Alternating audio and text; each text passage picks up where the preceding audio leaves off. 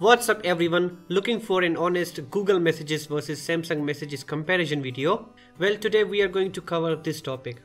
A pure Android device comes with Google Messages, also known as Android Messages, and Samsung devices come with Samsung Messages, which is limited to Samsung mobiles as the app is not available to download.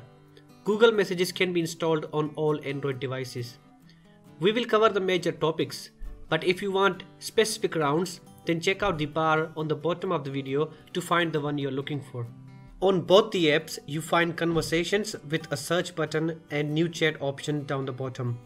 Swiping on each conversation moves the conversation to archive. You can see the archived chats in the top right menu in Google Messages. Samsung Messages comes with the style of leaving some screen empty for pinned discussions. To pin a discussion, you go to the conversation menu and tap on pin. Contacts section is a unique section which shows you contacts. Both features are missing in Google Messages.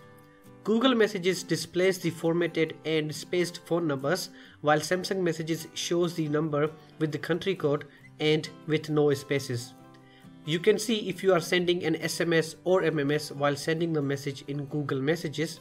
How do we know when we have unread messages? If a chat is in bold, there are unread messages in Google Messages. While with Samsung Messages, you get to see the total number of unread messages on the right hand side of the conversation. As part of the interface, let's cover the dark theme. Both offer the dark theme, but the problem with Samsung Messages is it relies on mobile's night mode to enable the dark theme. We don't have a specific setting to enable the dark theme.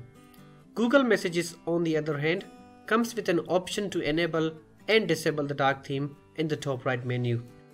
So what tools both offer? Samsung Messages supports image, video, audio recordings, contact informations, stickers, emojis, locations and more.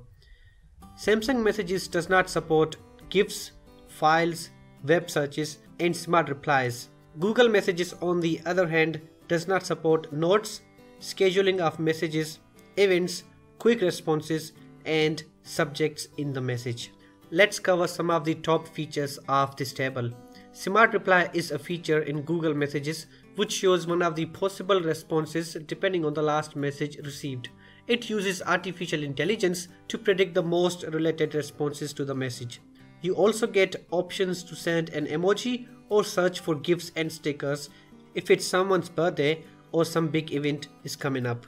Message scheduling is a built-in feature in Samsung messaging app. The app lets you schedule a message, but you can't plan a message for a couple of minutes as you need at least 6 minutes or more to schedule a message.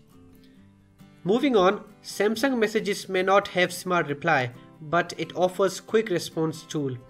You can go to the menu of each conversation and send a quick response.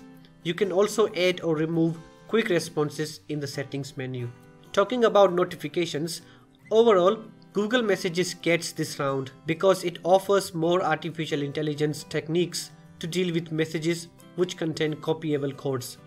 The app shows a copy button in the notification panel when you receive code in a message.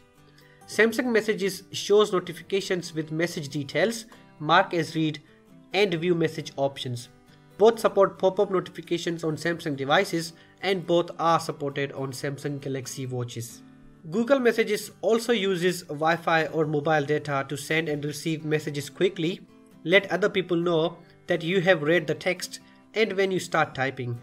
Another feature of Google Messages is working with Google Duo to send video and audio messages.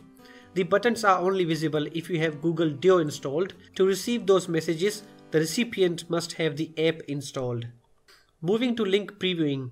Link previewing is a standard feature and both apps support that. Google Messages comes with a few extra options such as filter out the links, download over Wi-Fi while Samsung Messages only offers to enable or disable this feature. The last part of the internet section is Messages for Web. Messages for Web is another tool of Google Messages. Just like WhatsApp Web, you can scan the barcode and get all the messages on your PC. The web service uses the same settings such as theme, chat settings, etc. Most of the options are synced automatically with the app. Samsung Messages does not offer a built-in web messaging service, but with the help of Samsung SideSync, you can send messages from your PC. Let's cover some of the rare features of both, which might make a difference. Google Messages offers to enable disable the ongoing sound, change user's country, manage group messaging, auto download MMS, auto download while roaming, and delivery reports. Samsung Messages comes with options to manage the notifications, quick responses, delivery report, input mode, old messages, and message center. So which one is for you? Regarding the style and look, I prefer Samsung Messages because it uses Samsung's most famous One UI. Still in the end, I like Google Messages because of its robust AI based code detection, spam protection, smart replies, web searches, and other features. Overall, Google Messages takes this comparison. Alright, here is the end of this video. I hope it helped. Please like this video and subscribe to my channel if it helped in any way. Also, let me know your thoughts in the comments below so we can discuss more. And I will see you in the next video.